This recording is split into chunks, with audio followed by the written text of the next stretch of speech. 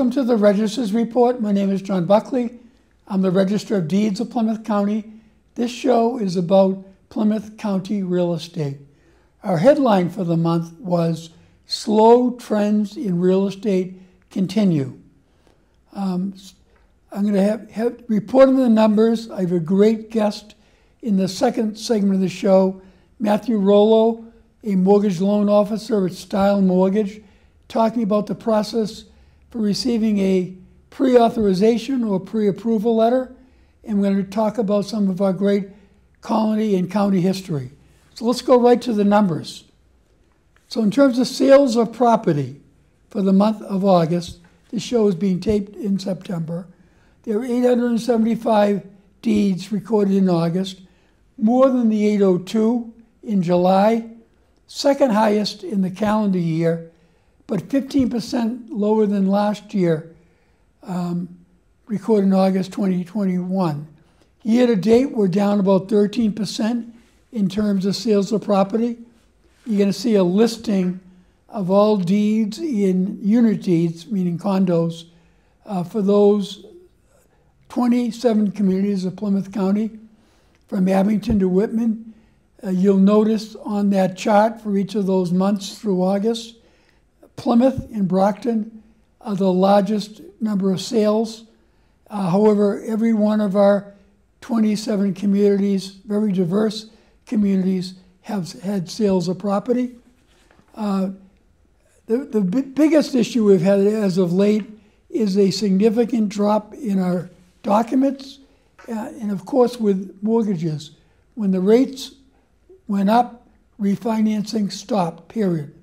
Uh, there were 1,617 mortgages recorded in August, more than the 1,578 in July, but 46% lower than the 3,020 of August in 2021.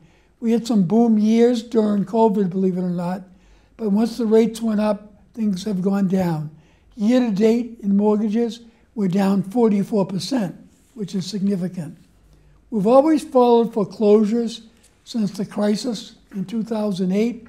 However, there was a moratorium in place during the real difficult COVID times, so that only nine foreclosure deeds were recorded in August. A foreclosure deed is when a lender is taking back a property from someone, usually for failure to pay. Uh, more than the seven in July, but 125% more than the four in August of 21, again, there was a moratorium in place. And year to date, up 52%. But more closely than deeds, we watch foreclosure notices because those are the precursor to a foreclosure deed. So if you find yourself in trouble, reach out to a federal housing counselor as fast as you can. The earlier you get on that issue, if you lost your job, if you have medical issues that are costing you money from keeping you from paying your mortgage, don't hesitate, get right on it. There were 49 foreclosure notices in August, more than the 39 in July, 360% more, again, because of the moratorium, than August 21. And uh, there have been mortgages, I'm sorry, foreclosures in orders and notice uh, in some communities, but because of the moratorium, uh, there are a lot of zeros there. Please be aware that we offer a free fraud alert at the registry. Go to our website, plymouthdeeds.org, go to resources, go to the fraud alert. If you enter your email, any recording against you, you'll get an email so you'll know what's going on with your property. Maybe it's something that is good, maybe it's a mortgage discharge that shows you paid off your mortgage, but you certainly want to be vigilant and aware what's going on with your property. I have a great guest coming on the second segment of the show, Matthew Rollo, a mortgage loan officer at Style Mortgage. We'll be discussing the importance uh, for in process for receiving a pre-approval, pre-authorization letter. So we'll see you in the next segment. Welcome back to the Register's Report. My name is John Buckley. I'm the Register of Deeds of Plymouth County. In this segment of the show, we always do something educational in nature. We've had surveyors, appraisers, commercial real estate brokers, a lot of realtors, I have a great guest here with me today. I have Matt Rollo, a mortgage loan officer with Style Mortgage. Welcome. Thank Matt. you. Thank you for having me. And uh, Matt is a first time guest. So before we talk about the importance in the process of receiving a pre approval, pre authorization letter, let's talk a little bit about how you got into the real estate business. Yeah, sure. So I've been in financial services for 30 years. Um, I got into this business, uh, the loans business, about five years ago. Um, it's been the best, most rewarding financial service job I've ever had because um, you're helping someone either you know reconnoiter their finances or get a home, which is it's, it's an important um, part of American culture and who we are as Americans, right? Um, so I find it extremely rewarding. You know, it's it's been a great great job to, to do. That's great. Yeah. So let's talk a little bit about Style Mortgage. Yep.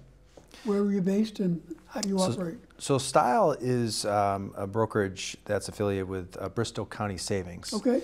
Um, most people are familiar with them in this market, and they um, they started um, I think last year as a, as an ancillary to their their banking products. Um, being a brokerage, that it gives them more leverage to do different products.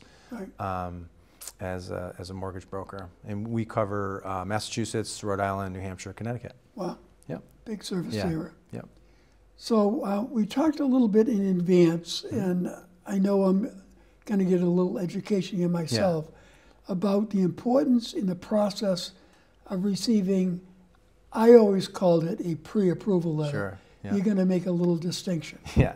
Yeah. How, so, you, how would someone out there, you know, watching our show, um, go about that? yeah. So th- the distinction is important to make. You know, I mean, it's basically the process by which a, a lender, um, you know, would vet you to to see what you, you qualify for.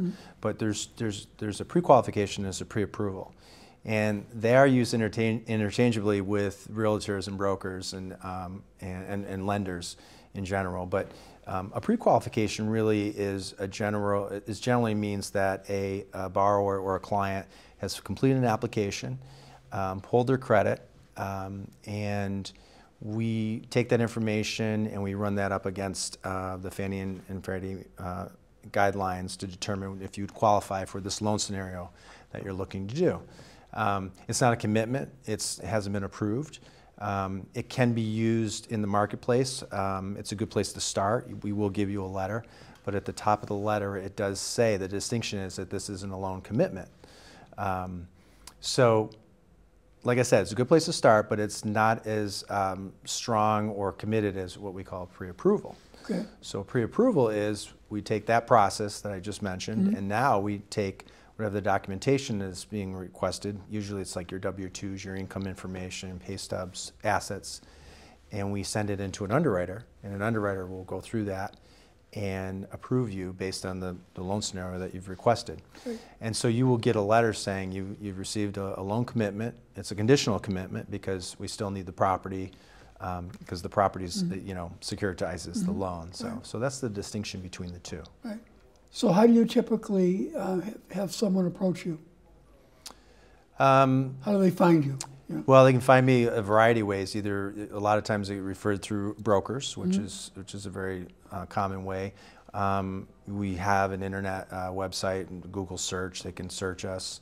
There's a there's a variety of ways. Um, clients I've worked with in the past, I, I tend to keep in touch with and reach out, um, see how they're doing, and you know, lo and behold, hey, yeah, we're gonna buy a we're gonna buy a, a vacation property in the Cape. Okay, great, let's talk. So, but it is important. Um, to talk with a professional lender um, because you know you, you need to figure out where you stand.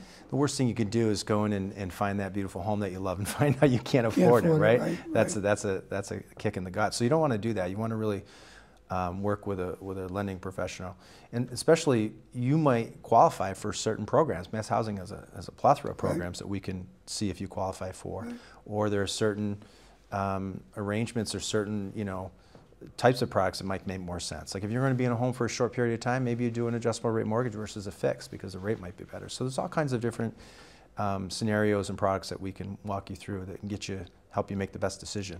So someone out there watching you on this show, Yeah. what would you tell them to to be able to gather together in preparation of approaching someone like you.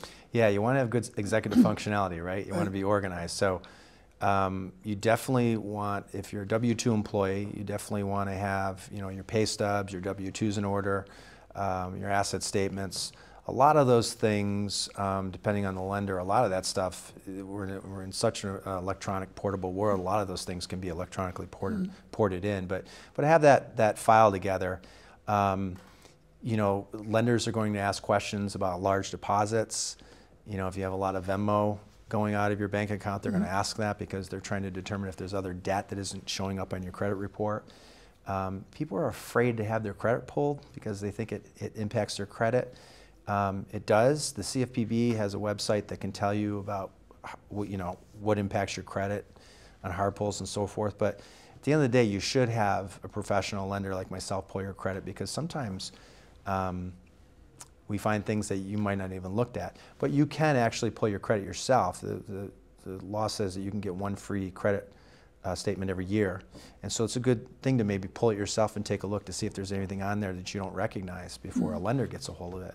Maybe you can rectify it, or, or mm-hmm. you know, maybe there's a, a, medical payment or something that wasn't paid. The underwriters might want to see that paid. So it's a, that's a good exercise too, okay. is to look at your credit. And what companies are those that primarily people go to? on their own? Uh, yeah, TransUnion, Equifax, and um, and um, I'm, I'm having a blank on the last one. TransUnion, Equifax, and um, so they can, if they go Experian, Experian, oh, okay. a they go. Yeah. They, they can yeah. find them on Google and yeah. just go right to yep. it. You can go right right to those three. The CFPB, like I said, the consumer um, um, financial um, website is a good good place to go. Um, because that gives you a lot of information about you know fair lending acts and things like that. So, so once they meet with you, mm-hmm.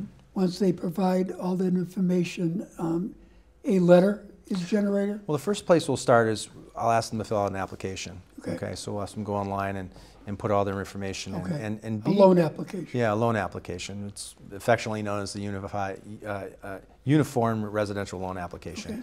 And it's it, most every lender has it, uh, some kind of electronic version. You go online and do it, and it populates it for me. And it's really important to um, put as much descriptive information on there as you can, your assets, your income, your work history, your, your, your, your, your living history, so we can determine, we can provide you, you know, a, a proper you know, qualification. We, we don't want any surprises when an underwriter gets it. We want to mm-hmm. kind of look at that and vet that up front. Um, that's the first step. And then, you know, we'll pull your credit and then we will, you know, look at the, um, it's called the DU, but it's the Fannie um, regulation guidelines. We'll look at that against your information to see what we think you can qualify for based on various scenarios too. And we'll provide various scenarios to you loan scenarios and products that, that best meet, meet your needs. Like I say, people are very afraid of adjustable rate mortgages, but if you think you're only going to be in the home for a short period of time, um, adjustable rate might be better than a fixed because the rate might be lower. So there's, there's different things that we can look at to help you make the best decision. Yeah, we've gone through, in, in my time, we've gone mm-hmm. through some crazy times. I was yeah. there during the 2003, 2004, yeah. multiple refinance efforts yeah. the crash that we talked about earlier yeah, of 2008. Yeah. And um, we're, we're having some trouble this time. It seems a little different because people this time around seem to have equity yeah. in, in their property, whereas yeah. in 2008 everyone was underwater. Yeah, and I think also the Dodd Frank rules um, mm. are much stronger than they, w- they were previous right. to that. And I, I, you know, back then when people started defaulting, when they opened up the packages and started to see that some of these people didn't even qualify for loans, mm-hmm. I, would, I don't think you'd see that today because I think the the, um, the the loans are much much more qualified based on the rules and the regulations. Yeah, thankfully. So, right. Yeah, thankfully, yeah. So that's a good thing. And and yeah, like you said, I think people have been sitting on a ton of equity. Mm-hmm. Um, so I think we're in a better place in, in, in that regard in terms of you know the, the potential default, you know, rates. So, so your letter would issue a maximum lending amount, or how would that work? Yeah, so what, and we, when we do the application, if we're, you know, a pre-qualification letter would just be simply me gathering the information, looking at your income and your assets, and and um, running it against the, the guidelines, and we'd issue a letter, and that's a letter saying that you know based on this information, you would probably qualify for for you know um, a $400,000 loan based on a $500,000 purchase, 30-year fixed at some rate. Um, a pre-approval, like I said, goes to the underwriter, and that letter, once the underwriter approves that, they would issue a letter saying you received, congratulations, you've received a conditional approval um, for this amount and this rate and its conditions, and, the, and they, we would outline the conditions below, meaning, you know, as long as the financials don't change, as long as you know we'll need a property to for final approval. Um, but that has a little more teeth because now an underwriter has has committed to it. A bank is, is giving you a commitment to a certain amount, and you know, quite frankly, in the marketplace, you're just below a cash borrower. Mm -hmm. You know, so you're you're very competitive in the marketplace with that yeah. kind of letter. Certainly, we're we're coming out of a little bit of that yeah. problem, the multiple bidding, yeah. overbidding yeah. issue, and yeah. cash over lending. Yeah, it seems to slow down a little bit. Yeah, that's good. It's a good sign. Yeah. So so a um, seller mm -hmm. or the seller's realtor yep. would look at that pre-approval letter yep. and see that they are a strong buyer. Yeah. As part of putting a potential offer together for that person. Yeah, I mean, I'll, I'll, just tell you a quick story just to illustrate the difference in that. It, you know, I had a I had a buyer that was uh, ten uh, percent down, um, and but they were approved for the loan amount. Um, so we had 100% financing, you know, all set up. The realtor, the the, bar, the customer's buying agent calls me up and says they lost out. They're they, they're getting an offer from someone with 30% down. They're going to go with them. I said, well, let me ask you a question they have 30% down, do they have the other 70% settled with a bank? I'm like, I don't know. Can you talk to the listing agent? So I explained to the listing agent. Listing agent called me back and says, no, they haven't, they, they haven't even filled out an application with the bank yet. wow. I said, well, then they're not ready to go. My person's ready to go. We just need an appraisal, get the title um, straightened around, and we're ready to close the loan.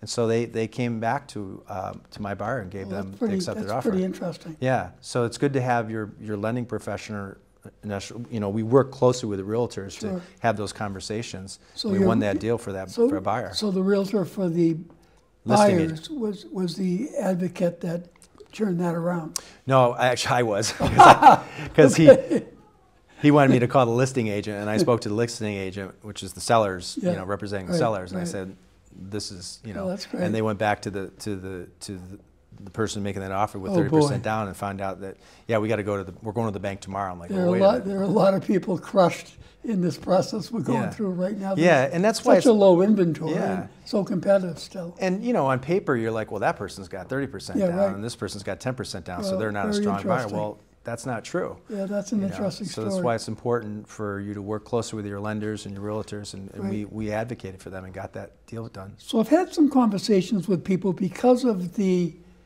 um, rising rates mm-hmm. that a, um, you know early you know short term what do you call it, not a modification what for the, for the loan mm-hmm. is better now than a 30 year fixed um, you mean like a um, um, like, like a, an adjustable, you mean? Yeah, three-year yeah. adjustable, five-year yeah. adjustable. Maybe yeah, it, right it can be. Um, you know, so how, how they work is, you know, you'll see what they call a five-one arm, a seven-one arm, or a ten-one yeah. arm, um, and some of them now the banks are switching over to a different index, so you'll see like a five-six or a ten-six or a seven-six. The the first number is the number of years that loan is fixed. The okay. second number is the period on, on which it okay. changes. So a 5-1R means that it's fixed for the first five years, and then every year after that, it will change, the rate will change. A 5-6 means it's fixed for the first five years, and every six months the rate okay. changes. Um, it can be, and like I said at the beginning, it can be a better situation if that you're moving to another city, you're from Boston, and you're doing, you know, a corporate gig for a few years yeah. in Washington um, you might want to look at a 7-1 arm versus a fixed because the 7-1 arm, the first seven years, that rate might be lower mm -hmm. than what its 30-year, you know, loan might be. It, those the, the adjustable rate mortgages are 30-year note, but the first period is a certain first period that it's fixed. And so I've seen that um, where sometimes, you know, a, a, a 30-year fix might be five and a half, where the seven one R might be like four and three quarters. So that so it's always good to look at that. I. Yeah. think people get nervous about oh I don't want an adjustable No, rate. certainly advice Yeah. has been don't do an adjustable Yeah, when, when you were able to get a 3% yeah, 30 year. yeah. Um, but I'm also told there may be some programs out there that it is adjustable for three or five years, and then there's a cap on what the next Yeah, so be. that's the nice thing about what you'll see on adjustable rates now. Um, they're hybrids because they do have caps within the Okay. period, and they have caps in the life of the loan. So a lot of times you'll see. Um, so let's just say like um, say uh, an adjustable rate starts out at at five percent, right? Um, they'll and they'll have they'll explain to you it's a two two five, um, five one arm. What does that mean? So the first number means that um, it's going to have a two percent cap within the periods. So every year, if the rate is if one period the rate's four percent, the highest it can go is six percent. So that protects you on the, on, on the interperiod adjustment. Yeah, Um, the second number is when it comes out of uh, um, the fixed period, it can only go up a certain amount. And then the last number is the life of the loan, five percent plus whatever the first fixed period was. If it was five and a half percent plus the five percent, the life of loan can never go, exceed ten and a half percent. Okay. So there's some protections. Yeah. And it's good to talk to your, your lending professional about what that means and what the protections are because, you know, back in the 70s and 80s, they, they didn't have those caps and mm-hmm. people were paying right, like right, 19%. right. Well, I remember 14 and 18%. Yeah, so. Interest, Yeah, yeah, yeah. yeah. So, Um, so that so that's a great option, yeah, it is a good option. particularly people that are really uh, disenchanted Yeah. by a, I'm started looking for a home. I get rejected a couple times, Yeah.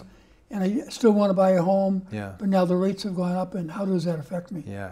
Some people were qualified at a 3.5% interest rate, and by the spring, they couldn't get that loan that they were, they were originally looking at because the rate got so high, it, it disqualified them, so we had to adjust their loan amounts. right. So that, and, and you know, by adjusting a loan amount, you're adjusting the purchase amount, but your purchase amount is, ability is dropping here, but the market is going here, so Right. a lot of people got priced out of the market, unfortunately. So the so the bottom line is, um, when you meet with someone like you, Mm-hmm.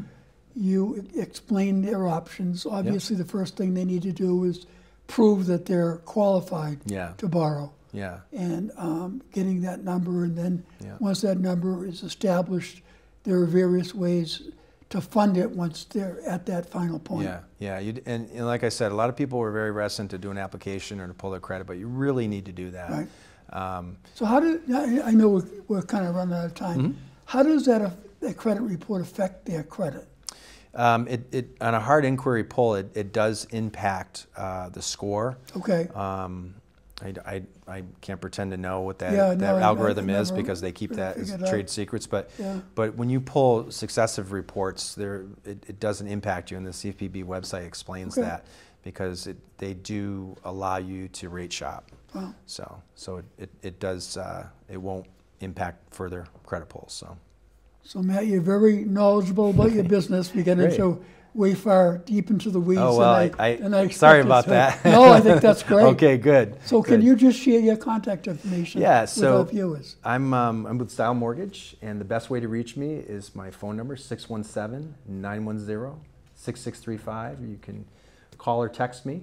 Um, I answer to both, and I, you know, like a realtor, I'm working Monday to Sunday, and Right. we, we can help people after hours because I know people work, so. You've been a great guest. I always All right. love it when I learn something. Yes, that's awesome. I'm glad you learned something. Great. Thanks, Matt. All right, thank Great you. to see It's you. a pleasure. Welcome back to the Register's Report. My name is John Buckley. I'm the Register of Deeds of Plymouth County. I want to thank Matt Rollo for the great job he did at describing a pre-authorization, pre-approval process. Um, it, it is something that everyone has to do now. Most realtors won't even talk to you if you don't have that in advance of discussing what you might do going forward. Uh, the holidays for the month, Labor Day has gone by. Beer Lovers Day was the 7th. Uh, that's gone by. Uh, Oktoberfest on the 17th has gone by today. Uh, tonight actually begins fall, uh, the autumnal equinox.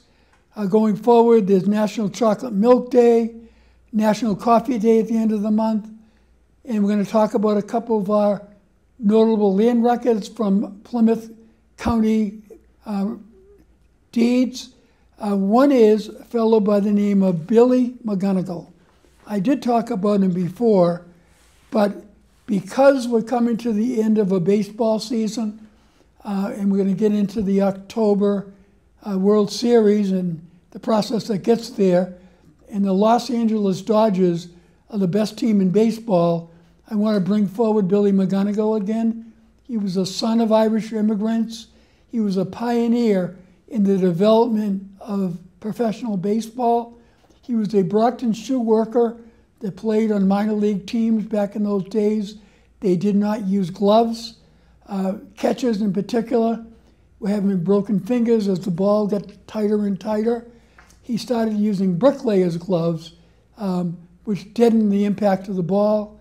It certainly began, began the development of the catcher's mitt and other gloves. While playing um, in a baseball game in 1885, his, he was, had a fractured skull from getting hit in the head by a pitch and became a manager. He became a manager of the Brooklyn Bridegrooms. Uh, that year, a lot of them got married, so that was the name of the team. But they won the American Association title. Uh, next year, they transferred into the National League, and they won the National League. He's the only manager that managed back-to-back championships in two different leagues, and they became the Los Angeles Dodgers. So Los Angeles Dodgers name came from those people dodging the streetcars in Brooklyn, New York. But he's a very well-known individual within the uh, Dodger organization. If you're rooting for the Dodgers for another pennant, you can think about Billy McGunnigle. The next person I'm going to talk about is a football player. Uh, many people don't remember the Patriots before Tom Brady, and everyone certainly mentions Tom Brady every time they talk about the Patriots now. But the quarterback before Tom Brady was Drew Bledsoe. He lived in Bridgewater, and he was a great quarterback. He was the number one pick in the 1993 draft, and he helped the Patriots earn their first Super Bowl appearance in eight years. Uh, he, he appeared in the Pro Bowl. After his years with the Patriots, he went on to play with the Buffalo Bills. He is in the Patriots Hall of Fame, and he has run various ventures. Um, last but not least, in the county records, I advise you on a fall day to go to the Albert Norris Reservation. It's in the town of Norwell. It's a walking path that leads down to the North River. Beautiful in the fall. It was donated by Eleanor Norris and named after her husband. Um, again, right near Norwell Center. And last but not least, one of our Plymouth Colony records. So our Plymouth Colony records go back to 1620 based on the arrival of the Mayflower. This particular record is from 1642. All of the areas around Plymouth, uh, in the surrounding towns, had problems with wolves. Uh, so they assigned each town to have five wolf traps in the towns of Barnstable, um, Yarmouth, which were part of Plymouth Colony, Marshfield, and others. It just shows you how the more things change, the more they remain the same, because in many communities now we're having trouble with coyotes, and they haven't gone to that length to take care of the coyotes. But certainly back in those days, they were very scared of wolves and made those decisions. I want to thank Brockton Cable Access for running this show particularly Emma Reardon and Athena Grant from the show here today, Luna Green Baker and Christine Richards from my office. This is my 143rd show at Brockton Cable Access. I share this with local providers throughout Plymouth County and provide information to people about for what for most people is their most valuable asset. So have a great fall. I'll see you next month.